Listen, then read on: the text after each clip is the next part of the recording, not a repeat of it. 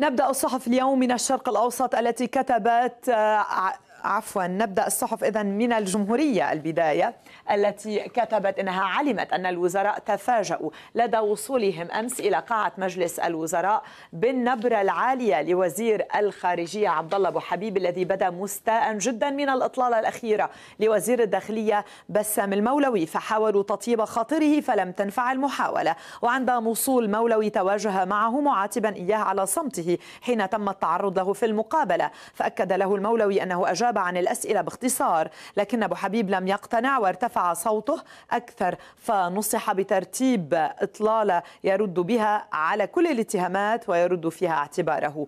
وقالت مصادر وزارية للجمهورية أن النبرة العالية التي علت على هامش الجلسة أسكتتها سخونة الملفات التي أثيرت على الطاولة كالبند 32 المتعلق بمشروع مرسوم يرمي إلى تحويل شبعة أو شعبة عفوا راشية في كليات الصحة العامة في الجامعة اللبنانية إلى فرع والذي اصطدم برفض رئيس الجمهورية ووزراء التيار الوطني الحر معتبرين أنه ملف انتخابي غامزين من قناة النائب وائل أبو فعور. وأضافت المصادر أن الجلسة شهدت إثارة أكثر من ملف على خلفية انتخابية. ننتقل إلى الشرق الأوسط. كتب محمد شقير ميقات يضع مواصفات لرئيس حكومة ما بعد الانتخابات شدد على تشكيلها بسرعة لإخراج لبنان من الأزمة.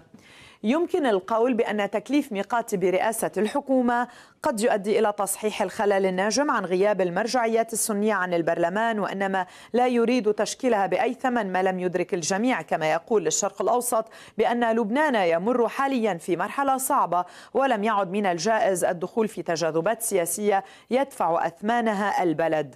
مضيفا بأن تشكيلها بسرعة وعلى أساس معايير ومواصفات تدفع باتجاه تضافر الجهود لإخراج البلد من التأزم وإلا فما عليهم إلا البحث عن مرشح آخر ليس ليس تهربا من المسؤولية وإنما لضمان تفعيل العمل الحكومي لوقف الانهيار.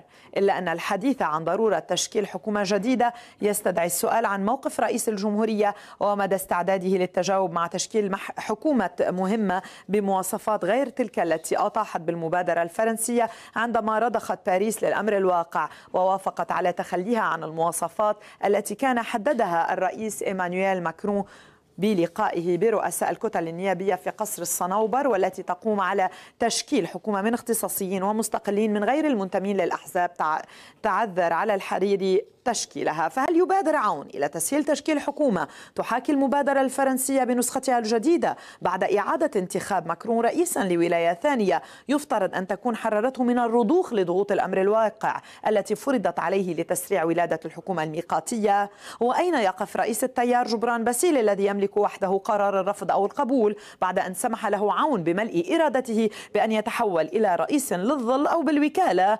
إذا صح التعبير. نختم مع الأنباء الإلكترونية الإلكترونية كتبت لفتت مصادر سياسية متابعة عبر الأنباء الإلكترونية إلى الخطوة التي أوعز بها مفتي الجمهورية عبد اللطيف دريان الشيخ عبد اللطيف دريان لأئمة المساجد لتضمين خطبة الجمعة اليوم دعوة أبناء الطائفة السنية في لبنان عامة وفي بيروت بشكل خاص للمشاركة في الانتخابات وعدم مقاطعتها لأنها ستفسح المجال أمام حزب الله وحلفائه لاستغلال الوضع لصالحهم وبالتالي مصادرة القرار اللبناني وضمه بشكل نهائي إلى المحور السوري الإيراني. المصادر وصفت الانتخابات في بيروت في الدائرتين الأولى والثانية بالغموض المطلق نظرا لكثرة اللوائح المتنافسة لا سيما في الدائرة الثانية ولفتت إلى التدخل السوري المباشر على الخط والضغط على الأحباش للاقتراع إلى اللائحة المدعومة من حزب الله. أما في طرابلس والشمال فإن المشهد لا يختلف كثيرا عن بيروت باستثناء أن التجاوب مع الدعوة إلى المقاطعة المقاطعة أقل بكثير عما هي في بيروت.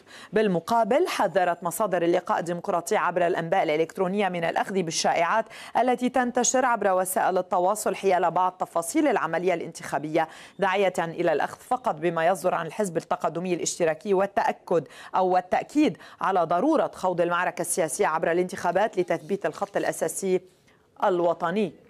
رئيس دائرة الإعلام والتواصل في حزب القوات شارل جبور أشار للأنباء الإلكترونية إلى أن القوات بدأت التحضير للانتخابات قبل سنة ونصف السنة.